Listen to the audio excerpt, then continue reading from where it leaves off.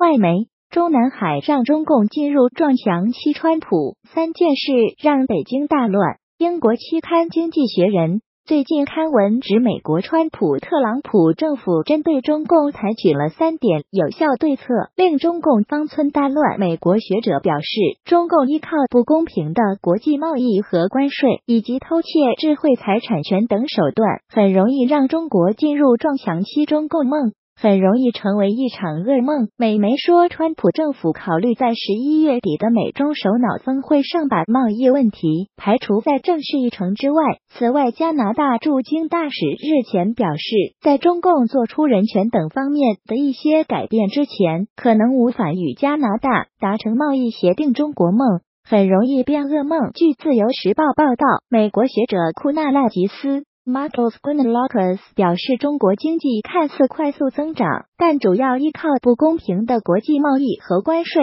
以及偷窃智慧财产权、独后特定企业及过度操纵金融等手段，很容易让中国进入撞墙期。一旦错估形势，经济将陷入困境。中国梦很容易成为一场噩梦。他表示，中共想要在短期实现需要长期发展的中国制造二零二五。计划这种加快脚步的做法，很可能会遇到撞墙期。他说，中共推出的一带一路倡议计划，也让其他国家怀疑中共的意图，最后可能导致相关国家债台高筑。这种透过快速扩张政治、经济和军事，最终将被视为短视尽力的行为。川普做了三件事，让中共方寸大乱。英国期刊《经济学人》。最近刊出中美对抗的封面文章，文章指美国川普特朗普政府针对中共采取了三点有效对策，令中共方寸大乱。文章说，川普做对的第一件事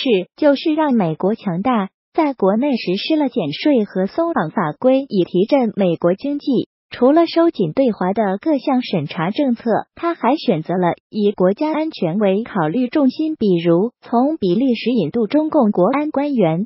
增加国防开支以及外人经费，对抗中共在海外的大撒钱。川普做对的第二件事是重新提醒各国需对中共行为的期望进行调整。经济学人的文章说，川普提醒各国现行贸易机制无法阻止中共国有企业的行为，这些企业游走在商业利益与国家利益之间的灰色地带，他们接收中共政府的资金补贴和保护。却在海外购买军民两用技术或扭曲国际市场。此外，中共还用其国家主导的商业影响力影响全球的外交政策，这让西方政府对中共资金渗透国内政党、智库和大学保持警惕，并要求这些机构加强公布使用中资的透明度。第三，川普在贸易上坦率而强硬的出招，已让中共领导人方寸大乱。要知道，中共高层原指望美国会安于现状，不思改变。经济学人的文章说，看来川普不拘于过去的习惯做法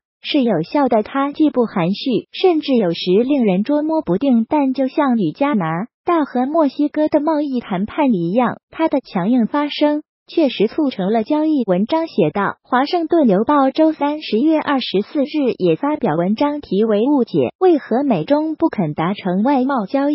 文章说，川普这种强烈、公开的批评方式，让习惯于暗示谈判的中共官员很不自在。美媒没考虑川习会把贸易排除在正式议程之外。美国之音。引述彭博社十月二十七日星期六消息，两位知情人士提供的消息报道说，美国不太可能取消这次在阿根廷二十国集团会议期间举行的峰会。但是，其中一位没有透露姓名的消息人士说，川普总统的贸易顾问认为，除非北京对美国提出的要求做出认真回应，否。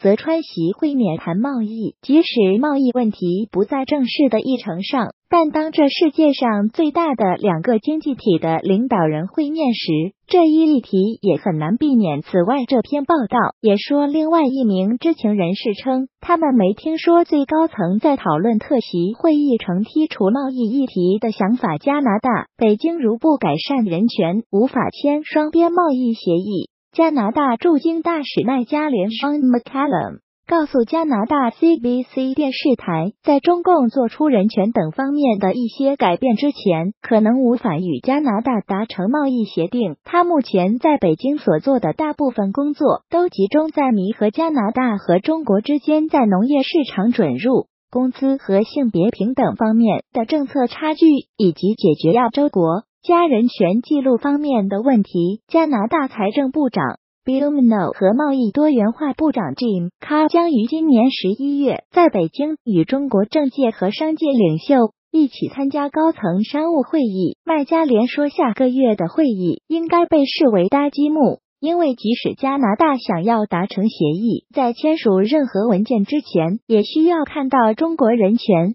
记录的改善。卖家连说，他最近几天与其他大使谈过中国处理人权问题。和其他问题所带来的挑战。阿波罗网孙瑞后报道。